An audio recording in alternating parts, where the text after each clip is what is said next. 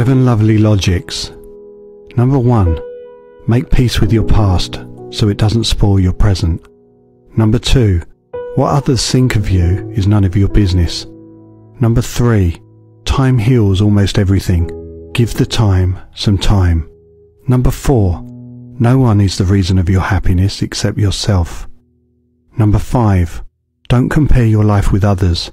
You have no idea what their journey is all about. Number six, stop thinking too much. It's okay not to know all the answers. Number seven, smile. You don't own all the problems in the world.